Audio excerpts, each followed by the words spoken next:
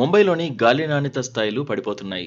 వాయు నాణ్యత ఇండెక్స్లో ఇన్నాళ్ళు ఢిల్లీ మీదున్న ఓ రికార్డు ఇప్పుడు ముంబై బ్రేక్ చేసింది ముంబైలో దేశ రాజధాని కంటే అధ్వానమైన పరిస్థితి నెలకొందని ఓ రీసెర్చ్ వెల్లడించింది.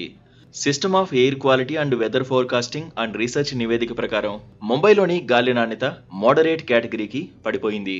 వాయు నాణ్యతలో ఇది ఢిల్లీ కంటే అధ్వానమైన పరిస్థితి. ఢిల్లీ ఎయిర్ క్వాలిటీ ఇండెక్స్లో ఎనభై మూడులో ఉండగా ముంబై నూట పంతొమ్మిదో స్థానంలో ఉంది.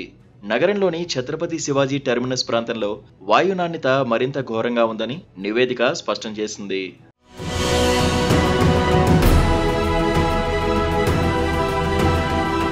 దీంతో రాష్ట్ర ప్రభుత్వం నగర ప్రజలకు హెచ్చరికలు జారీ చేసింది.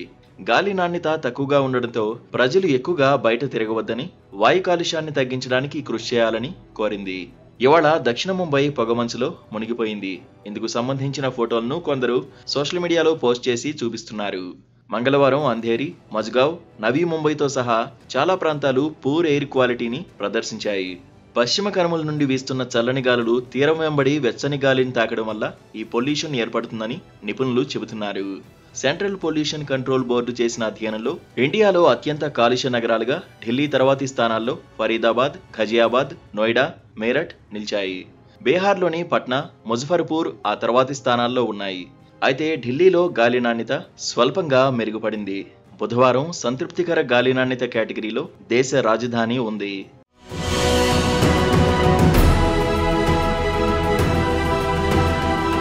ఈ నేపథ్యంలో ముంబై ప్రజలు తప్పనిసరిగా మాస్కులు ధరించాలని డాక్టర్లు కోరుతున్నారు. ముఖ్యంగా ఊపిరితిత్తుల వ్యాధులతో బాధపడేవారు బయటికి వెళ్ళినప్పుడు జాగ్రత్తగా ఉండాలని అంటున్నారు. అంతేకాదు ఆస్తమాతో బాధపడే పిల్లలను మాస్కులను తరచూ మార్చుకోవాలని చెబుతున్నారు. ఆరు బయట ఆడుకునేటప్పుడు ఇన్హేలర్ అందుబాటులో పెట్టుకోవాలని డాక్టర్లు ప్రకటించారు. అంతేకాదు జలుబు దగ్గు నుంచి కోలుకునేందుకు కొందరికి రెండు వారాలపైనే పడుతోందట.